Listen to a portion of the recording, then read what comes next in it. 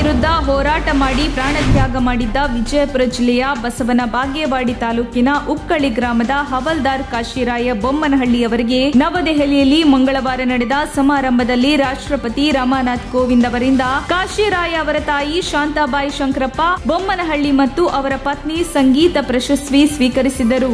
ಎರಡು ಸಾವಿರದ ಇಪ್ಪತ್ತೊಂದರ ಜುಲೈ ಒಂದರಂದು ಜಮ್ಮು ಕಾಶ್ಮೀರದ ಪುಲ್ವಾಮಾ ಜಿಲ್ಲೆಯಲ್ಲಿ ಉಗ್ರರು ಅಡಗಿದ್ದಾರೆ ಎಂಬ ಖಚಿತ ಮಾಹಿತಿ ಮೇರೆಗೆ ಸೇನಾ ಸಿಬ್ಬಂದಿ ಕಾರ್ಯಾಚರಣೆ ಕೈಗೊಂಡಾಗ ಅದರ ಮುಂದಾಳತ್ವ ವಹಿಸಿದ್ದ ಹವಲ್ದಾರ್ ಕಾಶಿರಾಯ್ ಅವರು ಉಗ್ರರ ವಿರುದ್ಧ ಕಾರ್ಯಾಚರಣೆ ನಡೆಸಿ ಉಗ್ರರು ತಾವು ಅಡಗಿರುವ ಸ್ಥಳದಿಂದ ತಪ್ಪಿಸಿಕೊಳ್ಳದಂತೆ ತಡೆದಿದ್ದರು.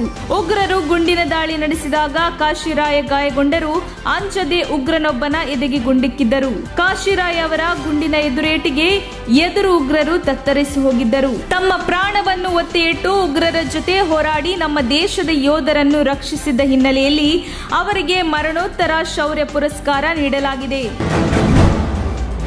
ಗುತ್ತಿಗೆದಾರ ಸಂತೋಷ್ ಪಾಟೀಲ್ ಆತ್ಮಹತ್ಯೆ ಪ್ರಕರಣದಲ್ಲಿ ಅಗತ್ಯವಿದ್ದರೆ ಪೊಲೀಸರು ಮಾಜಿ ಸಚಿವ ಕೆಎಸ್ ಈಶ್ವರಪ್ಪ ಅವರಿಗೆ ವಿಚಾರಣೆಗೆ ಹಾಜರಾಗುವಂತೆ ನೋಟಿಸ್ ನೀಡಲಿದ್ದಾರೆ ಎಂದು ಗೃಹ ಸಚಿವ ರಗ ಜ್ಞಾನೇಂದ್ರ ಹೇಳಿದ್ದಾರೆ. ಸುದ್ದಿಗಾರರೊಂದಿಗೆ ಮಾತನಾಡಿದ ಅವರು ಈ ಪ್ರಕರಣದಲ್ಲಿ ನಾವು ಯಾರನ್ನು ಕೂಡ ರಕ್ಷಣೆ ಮಾಡುವ ಪ್ರಶ್ನೆಯೇ ಇಲ್ಲ. ಮುಕ್ತ ಮತ್ತು ನಿಷ್ಪಕ್ಷಪಾತವಾಗಿ ತನಿಖೆ ನಡೆಯುತ್ತದೆ. ಪೊಲೀಸರು ಯಾರಿಗೆ ಅಗತ್ಯವಿದೆಯೋ ಅವರಿಗೆ ನೋಟಿಸ್ ನೀಡುತ್ತಾರೆ. ಇದರಲ್ಲಿ ನಮ್ಮ ಇಲಾಖೆಯ ಹಸ್ತಕ್ಷೇಪ ಇಲ್ಲ ಎಂದು ಸ್ಪಷ್ಟಪಡಿಸಿದರು. ಪಿಎಸ್ಐ ನೇಮಕಾತಿ ಅಕ್ರಮ ಪ್ರಕರಣದಲ್ಲಿ ಬಂಧಿತನಾಗಿರುವ ಆರೋಪಿಯ ಅಣ್ಣ ಆತ್ಮಹತ್ಯೆಗೆ ಶರಣಾಗಿರುವ ಘಟನೆ ಹಾಸನ ಜಿಲ್ಲೆಯ ಹೊಳೆನರಸೀಪುರ ತಾಲೂಕಿನಲ್ಲಿ ನಡೆದಿದೆ. ಡಿ ಗ್ರೂಪ್ ನೌಕರರಾಗಿ ಕೆಲಸ ಮಾಡುತ್ತಿದ್ದ ನಲವತ್ತೆಂಟು ವರ್ಷ ವಯಸ್ಸಿನ ವಾಸು ಆತ್ಮಹತ್ಯೆಗೆ ಶರಣಾದವರು. ತಾಲೂಕಿನ ಗುಂಜೇವು ಗ್ರಾಮದಲ್ಲಿ ವಾಸು ದಂಪತಿ ವಾಸವಿದ್ದು, ಇವರ ಪತ್ನಿ ಗಾರ್ಮೆಂಟ್ಸ್ ಉದ್ಯೋಗಿ ಎನ್ನಲಾಗಿದೆ. ವಾಸು ಹಾಗೂ ಅವರ ಸಹೋದರ ಮನುಕುಮಾರ್ ಮಧ್ಯೆ ಅಷ್ಟಾಗಿ ಸಂಪರ್ಕವಿರಲಿಲ್ಲ.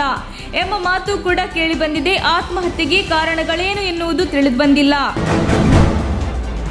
ಜೂನಿಯರ್ ರವಿಚಂದ್ರನ್ ಆಗಿ ನಟಿಸುತ್ತಿದ್ದ ತುಮಕೂರಿನ ಆರ್ಕೆಸ್ಟ್ರಾ ಕಲಾವಿದ ಲಕ್ಷ್ಮೀನಾರಾಯಣ್ ಅವರು ಆಕಸ್ಮಿಕವಾಗಿ ವಿದ್ಯುತ್ ಸ್ಪರ್ಶಿಸಿ ದಾರುಣವಾಗಿ ಸಾವನ್ನಪ್ಪಿರುವ ಘಟನೆ ಮಂಗಳವಾರ ನಡೆದಿದೆ.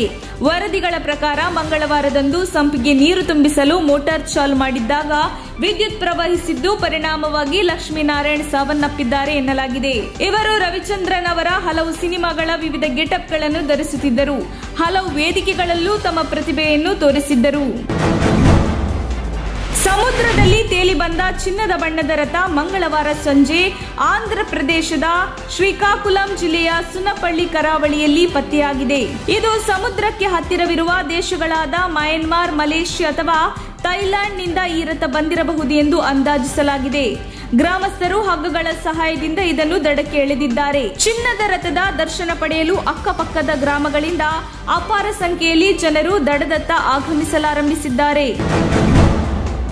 ಬೆಳಗಾವಿ ಜಿಲ್ಲೆಯ ಮೂಡಲಗಿ ತಾಲೂಕಿನ ಸತ್ತಗೇರಿ ಮಡ್ಡಿಯಲ್ಲಿ ಮಸೀದಿ ಮೇಲೆ ಕೇಸರಿ ಧ್ವಜ ಕಟ್ಟಿ ಕಿಡಿಗೇಡಿಗಳು ವಿಕೃತಿ ಮೆರೆದಿದ್ದಾರೆ. ಸದ್ಯ ಸ್ಥಳಕ್ಕೆ ಪೊಲೀಸರು ಬೀಡು ಬಿಟ್ಟಿದ್ದು ತೀವ್ರ ನಿಗಾ ವಹಿಸಿದ್ದಾರೆ. ರಾತ್ರಿ ವೇಳೆ ಮಸೀದಿಯ ಮೇಲೆ ಕೇಸರಿ ಧ್ವಜ ಕಟ್ಟಿದ್ದು ಮಂಗಳವಾರ ತಡರಾತ್ರಿ ನಡೆದ ಘಟನೆ. ಇಂದು ಬೆಳಿಗ್ಗೆ ಮುಸ್ಲಿಮರು ಪ್ರಾರ್ಥನೆಗೆ ತೆರಳಿದಾಗ ಈ ಘಟನೆ ಬೆಳಕಿಗೆ ಬಂದಿದೆ. ಇನ್ನು ಘಟನೆಯ ನಂತರ ಹಿಂದೂ ಮುಸ್ಲಿಂ ಮುಖಂಡರ ಸಮ್ಮುಖದಲ್ಲಿ ಗ್ರಾಮಸ್ಥರು ಧ್ವಜ ಇಳಿಸಿದ್ದು ಗ್ರಾಮದಲ್ಲಿ ಸದ್ಯ ಶಾಂತಿ ವಾತಾವರಣವಿದೆ. ಗದಗ ಜಿಲ್ಲೆಯ ಬೆಟಗೇರಿ ಹೊರವಲಯದ ನಾಗಸಮುದ್ರ ಸಮೀಪದ ದಂಡಿನ ದುರ್ಗಮ್ಮ ದೇವಿ ಜಾತ್ರೆ ಮಂಗಳವಾರ ವಿಜೃಂಭಣೆಯಿಂದ ನಡೆಯಿತು. ಈ ವೇಳೆ ದೇಹಕ್ಕೆ ಬೇವಿನ ಸೊಪ್ಪು ಸುತ್ತಿಕೊಂಡು ಬೆತ್ತಲೆ ಸೇವೆ ಸಲ್ಲಿಸಲು ಮುಂದಾದ ಭಕ್ತರನ್ನು ಪೊಲೀಸರು ತಡೆದರು. ಮಹಾರಾಷ್ಟ್ರದ ಮಹಿಳೆಯೊಬ್ಬರು ಬೇವಿನ ಸೊಪ್ಪು ಸುತ್ತಿಕೊಂಡು ಹರಕೆ ತೀರಿಸಲು ಜನರ ನಡುವೆ ನುಗ್ಗಿ ಬಂದಿದ್ದು, ಆದರೆ ಸ್ಥಳದಲ್ಲಿದ್ದ ಪೊಲೀಸರು ಆ ಮಹಿಳೆಯನ್ನು ತಡೆದಿದ್ದಾರೆ. ಅರೆಬೆತ್ತಲೆ ಸೇವೆ ಸಲ್ಲಿಸಲು ಅವಕಾಶ ನೀಡಿಲ್ಲ ಎಂದು ಡಿವೈಎಸ್ಪಿ ಶಿವಾನಂದ ಪಾವಾಡ ಶೆಟ್ಟರ ತಿಳಿಸಿದ್ದಾರೆ. ರಸ್ತೆ ಬದಿ ನಿಂತಿದ್ದ ಲಾರಿಗೆ ಕಾರು ಡಿಕ್ಕಿ ಹೊಡೆದ ಪರಿಣಾಮ ಸ್ಥಳದಲ್ಲಿ ಶಿಕ್ಷಕ ದಂಪತಿ ದುರ್ಮರಣಕ್ಕೀಡಾದ ಘಟನೆ ಮಲ್ಲಸಂದ್ರ ಬಳಿ ಬುಧವಾರ ಬೆಳಿಗ್ಗೆ ಸಂಭವಿಸಿದೆ. ತುಮಕೂರು ಜಿಲ್ಲೆಯ ಗುಬ್ಬಿ ತಾಲೂಕಿನ ದಂಪತಿ ಈಶ್ವರಪ್ಪ ಮತ್ತು ಕಲ್ಪನಾ ಮೃತಪಟ್ಟವರಾಗಿದ್ದಾರೆ.